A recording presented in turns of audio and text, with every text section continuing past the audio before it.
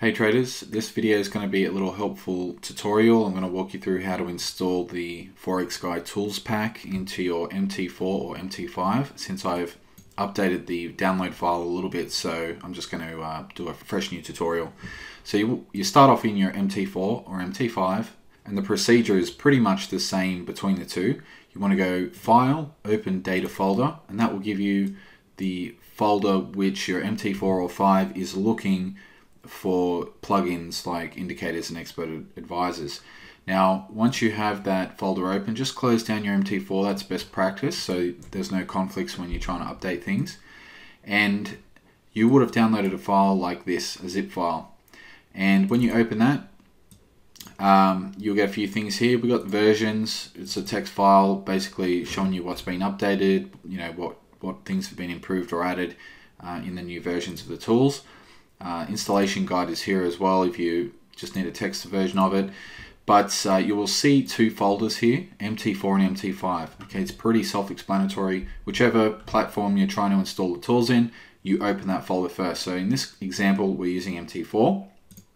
So we open that, and this will give you, um, you don't need to go any further than this. I've laid out all the, the folders and files inside here the way that MT4 or 5 wants it. So we stop here and then we go into our MT4, MT5 uh, data folder and we're looking for either the MQL4 or MQL5 folder.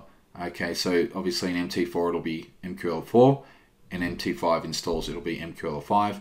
You just open it up and now you should see um, a bunch of folders like this and you can see I've got experts, indicators and libraries and you can see there's also a corresponding expert indicators uh, and libraries there as well.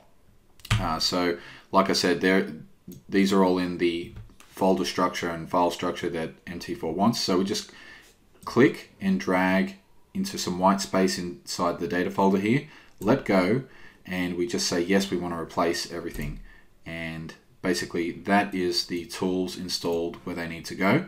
Now we just click back a few times uh, till we get back here and you, depending on if you're running in portable mode or just a normal version, you either open terminal or portable or just open MT4 or 5 the way you normally do. I use portable so we open here. Okay, now if we go to let's say our indicators, I've put them in a special folder so they're easy to find in the Forex Guy Tools little subtree here. So we expand that and you'll see we've got the market analytics trial here. I've actually used the trial pack as an example for this tutorial. Um, but if you're a War Room member, you'll obviously see the full versions here. And in the expert advisors area, we've got the chart builder and the trade management panel. So before we go any further, we need to configure uh, MT4 and, and even MT5 as well just to enable certain um, DLL calls and things like that to make the software work properly.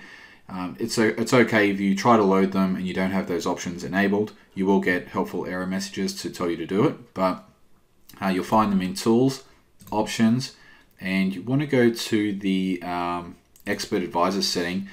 And depending on which tool you're using, if you're using the uh, Trade Management panel where it actually has to place trades for you, you actually need that actually selected there. So you need uh, allow automated trading, and you also need need allow DLL imports. Okay, both of those ticked. So if you just mimic what I've got here, you need all those switches turned on. And if you're using the custom chart builder, you actually probably want to start with you got you got to be very careful when you put numbers in here, and you, you can actually flood MT4 with too much data because it's a 32-bit program, it can run out of memory very easily when you're trying to build custom charts with the uh, the chart builder here. So yeah, be very careful of that. Make sure these numbers are not maxed out because sometimes you'll find that there's huge numbers in here and that will just stall your uh, chart building and you'll run out of mem memory basically. So uh, just check those.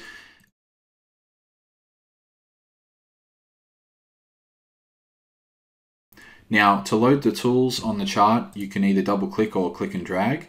So let's uh, open the trade management panel. So if we click and drag, let go or double click, yeah, we need to go to the common area first and we just need to double check allow DLL imports is there, allow allow imports of external experts, and of course allow live trading specifically if you're using the trade panel where it needs to actually place trades. If, if the tool you're using doesn't need to place any trades or it's not designed for that, then you don't necessarily need that there. But if you're using the trade panel, yes, you do. And of course, it will give you an error if this is not enabled. Then we go to the inputs tab and basically here you're going to see one or two screens. Uh, all the options are going to be here. Depending on if you have the full version of the tool or a trial version, you'll either see an input here for an email or if you're using a war room uh, version of the tool, then it's going to ask you for your war room username and password. So you put that in here and click OK. I think I've set one up for my support email as a test. Test it out. So yeah, if you're using the trial version, it just wants your email. You must have already confirmed that inside your email to validate it's your email. Uh, we click OK. Uh, also, when you're loading the tools, okay, uh, yep, it says that my trial has started, so this is part of the trial system. If you're a War Room member, it should just pop up. So just click OK, confirm that.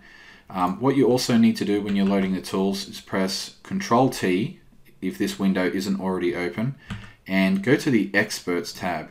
Now, if uh, you see any errors here, like if, the, if whatever you're trying to load is not working, then you will see most likely 9.9 times out of 10 there's going to be an error logged here.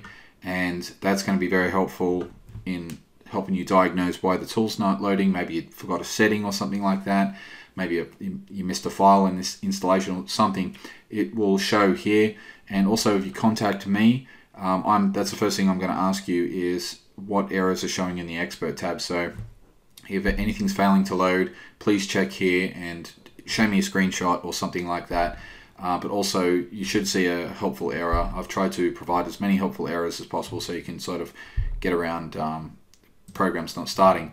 And that's basically it. Um, once you've done that, you, um, you've got the tools ready to go. It, once you do all this stuff, you do all the settings and files and everything, that's it. You're pretty much set forget from then on and you just double click on the tools you want to load and they'll just work smoothly from then on. So hopefully that was helpful and enjoy the tools, guys.